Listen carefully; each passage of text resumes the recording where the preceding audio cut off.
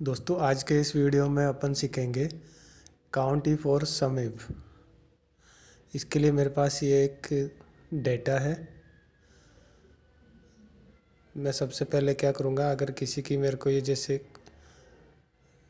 मैंने ऊपर से लेकर के नीचे तक इस कॉलम को सिलेक्ट कर लिया, और इसकी जो क्वांटिटी है वो मैं देख रहा हूँ, यहाँ नीचे दो सौ छप्पन आ रही है। ये काउंट बता रहा है दो सौ छप्पन। आप इस तरह से भी ये डेट नीचे आप इस तरह से भी आप टास्क बार के अंदर देख सकते हैं कि काउंट कितनी बता रहा है, दो सौ छप्पन।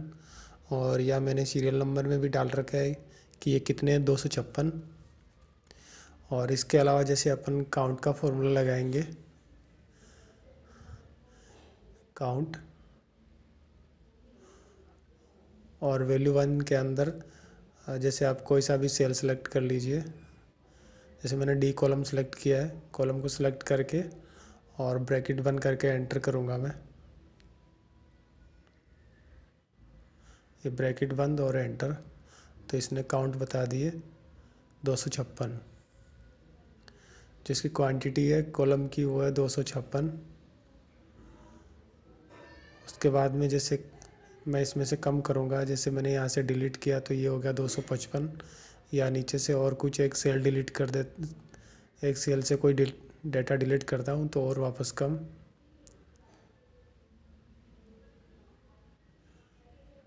इस तरह से ये तो हो गया काउंट का और उसके बाद में देखते हैं काउंट इफ़ जैसे ये कोई डेटा है मेरे पास, उस डेटा के अंदर keyboard mouse RAM hard disk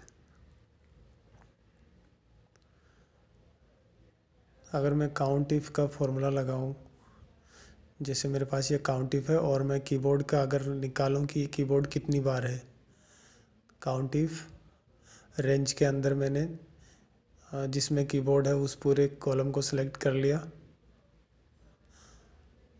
column को सिलेक्ट करने के बाद में कोमा और क्राइटेरिया है मेरा वो है कीबोर्ड तो या तो मैं कीबोर्ड को सिलेक्ट कर सकता हूँ इधर सेल को, या मैं कीबोर्ड को इन्वर्टेड कोमा के अंदर टाइप कर सकता हूँ। बस ध्यान रहे स्पेलिंग का। मैंने टाइप किया कीबोर्ड और ब्रैकेट बंद किया तो ये कीबोर्ड की जितनी क्वांटिटी है वो बता देगा कीबोर्ड कितनी बार है। ये बत्तीस। काउंट होकर के आ रहा है, बत्तीस। इस कॉलम के अंदर जो कीबोर्ड नाम है वो बत्तीस बार है। या इसको आप इस तरह से एक दूसरे तरीके से भी देख सकते हैं कंट्रोल शिफ्ट एल के साथ, जैसे कंट्रोल शिफ्ट एल करोगे तो इस पर फ़िल्टर लग जाएगा। और फ़िल्टर से आप देख सकते हो, मैं यहाँ पे कीबोर्ड सेलेक्ट करूँगा सिर्फ़। कीबोर्ड मैंने सेलेक्ट किया ओके किया। और अब मैं नीचे अगर इसके काउंट देखूँ, ये कितनी बार आ रहा है? बत्तीस। तो आप इस तरह से भी इसको काउंट कर सकते हैं। ये अपन ने वेरीफाई कर लिया कि काउंट के फॉर्मूले का कि ये बत्तीस जो है, जो सही है।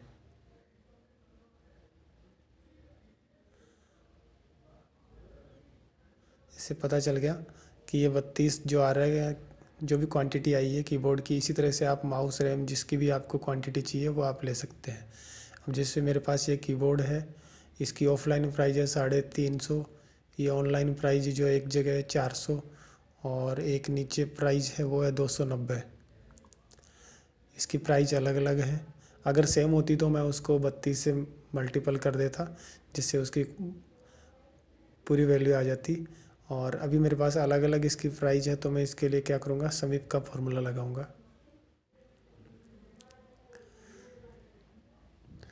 तो मैं क्या करूँगा, समीप का फॉर्मूला लगाने के लिए समीप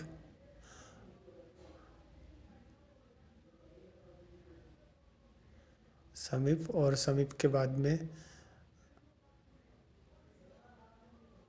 ब्रैकेट ओपन रेंज रेंज के अंदर मुझे लेना है, जिसके अंदर जिस चीज़ का मैं सम करूँगा, जो प्रोडक्ट है, उस सेल को सिलेक्ट करना है मुझे।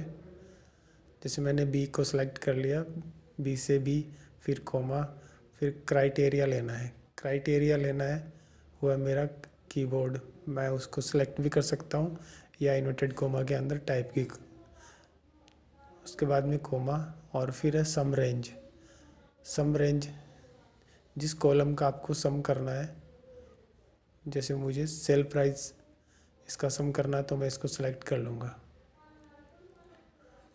और ब्रैकेट बंद। अब मैं देखूँगा तो इसकी प्राइस आ गई वह नौ हज़ार पाँच सौ सत्तर रुपये क्वांटिटी है वो है बत्तीस और उसकी प्राइस वो है बत्तीस की जो है नौ हज़ार पाँच सौ सत्तर। इसको भी आप चेक करने के लिए आप फ़िल्टर लगा करके देख सकते हो। जैसे ये क्वांटिटी तो है बत्तीस और इसकी सेल प्राइस टोटल है जो है नौ हज़ार पाँच सौ सत्तर। इसको वेरीफाई करने के लिए आप कंट्रोल शिफ्ट एल के साथ में इसका फ़िल्टर लगा के चेक कर सकते हो। जैसे मैं यहाँ पे पहले सेलेक्ट करूँगा कीबोर्ड उसके बाद में जो सेल प्राइज है, उसको सिलेक्ट करके देखूँगा कि इसकी टोटल कितनी आ रही है। इसकी जो सम है वो आ रही है नौ हज़ार पाँच सौ सत्तर। मतलब कि फॉर्मूला जो लगा है वो सही है। आशा करता हूँ ये फॉर्मूला आपको समझ में आ गया होगा। काउंटी फॉर समीफ और मेरे पुराने वीडियो भी अगर आपको देखने हैं तो पुराने वीडियो के लिंक है जो डिस्क्रिप्शन में मिल जाएँगे। वहाँ से आप पुराने वीडियो देख सकते हैं।